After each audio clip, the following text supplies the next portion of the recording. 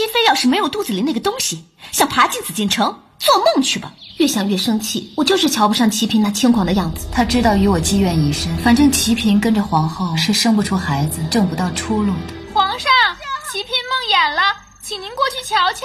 那朕过去瞅瞅。皇上，臣妾方才梦魇醒了，心慌的厉害，您替臣妾揉一揉好不好？老是梦魇，也不找个太医好好瞧瞧。